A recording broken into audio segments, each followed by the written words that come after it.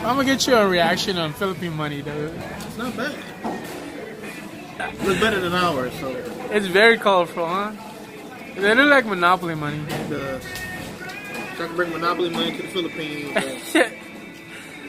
it'll work. Yeah, okay.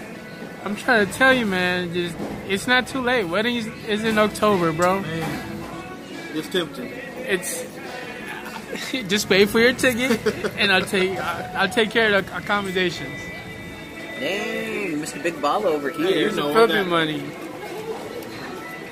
20 pesos, Hey, 50 pesos, 100 pesos, 200 pesos. 200 pesos. that's enough to get a 500 that's enough to get a five dollar hooker. I don't even know I said that in the vlog, but I wouldn't know, Sheila. I don't know. I've never had a five dollar hooker in the Philippines. Um, they got purple money, dude. Hey, I like purple. This shit is nice. Okay. Yeah, I was tripping out. I'm like, what?